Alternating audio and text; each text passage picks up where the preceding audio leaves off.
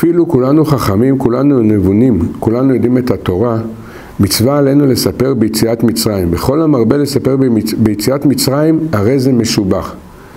לפעמים, כשאדם נהיה חכם, ברוך השם, כולנו רוצים לזכות, ללמוד תורה ולהיות חכמים.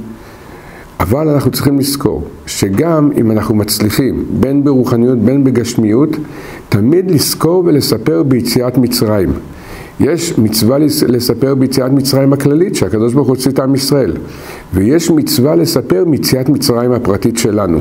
כי כל יהודי, בפרט בדור שלנו, למעשה חווה את, את יציאת מצרים.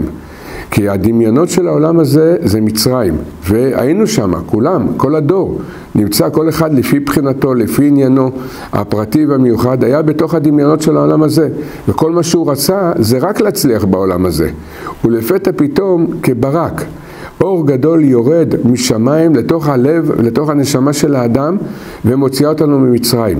אומרת לנו האגדה, ויש עניין גדול, להרבות ולספר ביציאת מצרים. באיזה יציאת מצרים? הפרטית של כל אחד מאיתנו.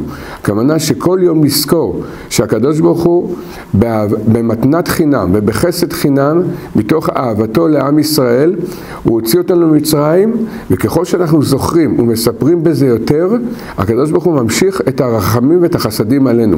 והעיקר זה לא לשכוח את המתנה הגדולה שהקדוש ברוך הוא נתן לנו, הוציא אותנו ממצרים. הירשמו לערוץ של הרב ויישארו מעודכנים.